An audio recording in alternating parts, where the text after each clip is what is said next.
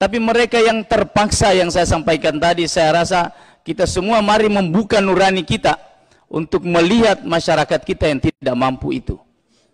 Kalau kenaikan BBM mungkin tidak semua orang miskin bisa menikmati itu. Tapi pelayanan kesehatan tidak ada yang tidak bisa masuk dalam jaminan ini karena sangat dibutuhkan ketika dia sakit. Dan saya tahu persis Pak Menteri, orang yang sangat peduli dengan masyarakat, tidak ingin melihat ada masyarakat di Indonesia ini terkapar di rumah mereka hanya karena mereka tidak bisa menjangkau layanan pengobatan di rumah sakit ataupun di puskesmas karena tidak masuk dalam jaminan kesehatan nasional. Oleh karena itu, terkait dengan persoalan inilah yang mari kita coba sekali lagi membuka nurani kita untuk membicarakan tentang mereka yang tidak masuk dalam program PBI disebabkan karena pendataan. Pak Menteri dan Pak Dirut, saya ingin sampaikan pengalaman lapangan yang pernah saya saksikan langsung. Yang pertama soal pendataan orang miskin.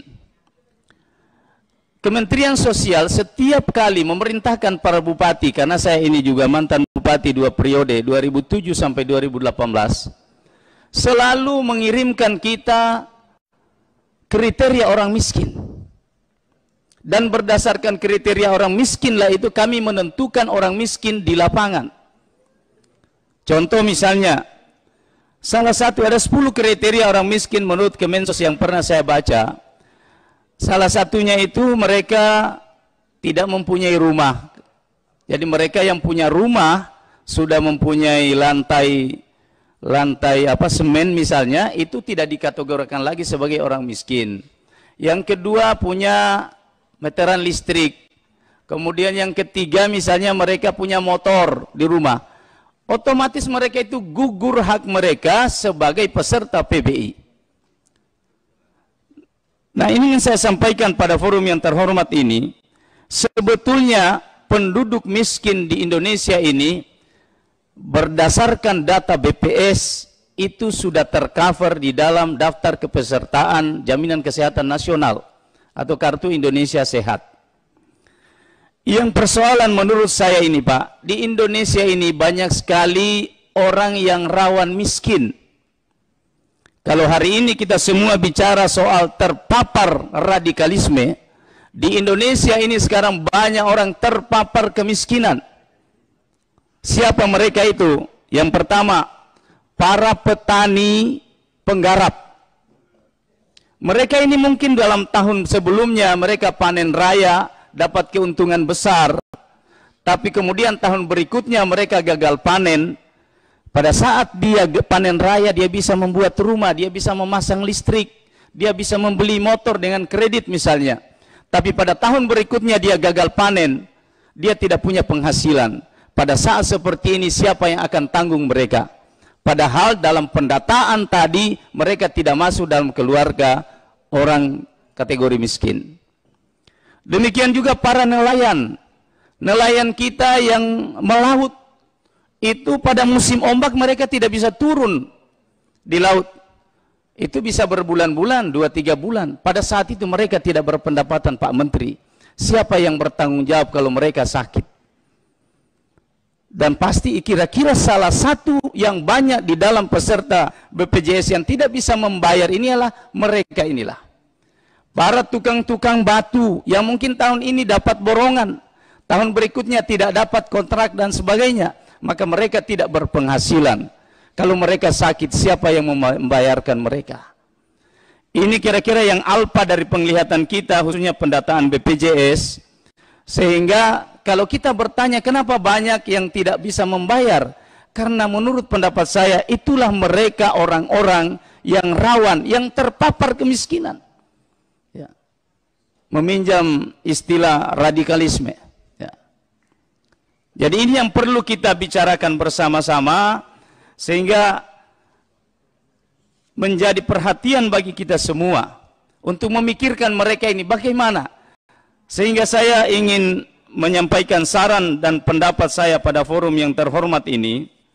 Yang pertama, saya ingin menyatakan dengan tegas pada kesempatan ini bahwa saya meminta agar kenaikan yuran BPJS khusus kelas 3 ditunda. Itu yang pertama secara tegas saya sampaikan. Kemudian yang kedua, kepada BPJS untuk membenahi data yang saya sampaikan tadi. Kita berharap harusnya Kementerian Sosial Pak Pimpinan, tapi kita tidak punya jalur untuk koordinasi dengan Kementerian Sosial berhubungan dengan data ini. Karena sumber persoalan ada di situ. Yang ketiga, saya ingin menyarankan pada kesempatan ini kepada Pak Menteri. Persoalan ini akan terus menerus tidak akan berhenti ini Pak. Kalau ini selalu tidak selesai persoalan data dan tidak selesai kemiskinan. Baru-baru saya membaca data, menurut BPS bulan Agustus, ada kenaikan lagi kurang lebih 500 ribu orang yang menganggur. Coba. Mereka ini nanti akan menjadi beban BPJS lagi Pak. Padahal mereka dulu menjadi peserta BPJS. Saran saya, saran konkret saya Pak Menteri, mungkin Pak Menteri memikirkan sebuah terobosan besar dalam kebijakan di Kementerian Kesehatan. Bagaimana kalau ke depan ini negara berpikir agar Indonesia ini menerapkan universal health coverage itu secara totalit, totalit, secara umum Artinya semua pengobatan di kelas 3 yang ada di rumah sakit pemerintah maupun rumah sakit swasta itu dijamin oleh pemerintah. Khusus kelas 3. Ini pasti akan terjadi seleksi alamiah baru kita tahu di Indonesia ini siapa yang mampu dan siapa yang tidak mampu. Orang-orang yang mampu pasti tidak akan mau berobat di kelas 3 dan orang-orang yang sangat sekali membutuhkan pengobatan pasti akan berobat di kelas 3. Saya punya pengalaman Pak Menteri. Selama 10 tahun jadi bupati saya menerapkan di Morowali universal health coverage secara total. Seluruh masyarakat Morowali kurang lebih 300 ribu masyarakat saya nyatakan gratis berobat di kelas 3 di rumah sakit mana pun di seluruh Indonesia. Dan pada saat mulai ini berlaku sejak tahun 2007 sampai 2018. Sebelum BPJS didirikan. Saya ingin memberikan sedikit perbandingan Pak Menteri dan Pak Dirut. Selama saya kelola, saya mendirikan sebuah badan namanya Badan Jaminan Sosial Daerah. Dengan peraturan daerah. Setiap tahun saya hanya mengeluarkan uang kurang lebih 9 miliar untuk mengobati seluruh rakyat saya yang sakit berobat di kelas 3 di mana pun rumah sakit di seluruh Indonesia ini. Dalam setahun Pak. 9 miliar. Tapi ketiga karena waktu itu saya mohon maaf ini Pak Dirut mungkin salah satu bupati yang menolak dan tidak integrasi dengan BPJS itu adalah saya. Sampai tahun 2018 saya berakhir masa jabatan bulan Juni dan setelah diganti bupati pengganti saya mengintegrasikan seluruh masyarakat Morowali dalam peserta BPJS dan Pemda harus membayar kurang lebih 35 miliar setiap tahun. Coba ini, ini sebagai sebuah perbandingan. Tadi 9 miliar, ini juga seluruh bisa saya bis di mana pun Pak masyarakat saya berobat dan tidak ada pengecualian penyakit apa pun. Sampai kalau ada masyarakat saya berobat di Jogja, berobat di Jakarta, saat itu juga petugas jam sosda saya perintahkan mengawal mereka, kemudian membuat MOU dengan rumah sakit tersebut, dan seluruh pengobatannya diklaim di Badan Jaminan Sosial Daerah.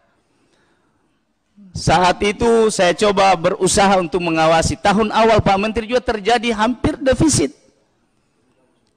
Karena ada beberapa biaya operasional juga masuk. Ada kurang lebih di dalam perda disebutkan 20% dari total anggaran yang disediakan oleh pemerintah digunakan biaya operasional.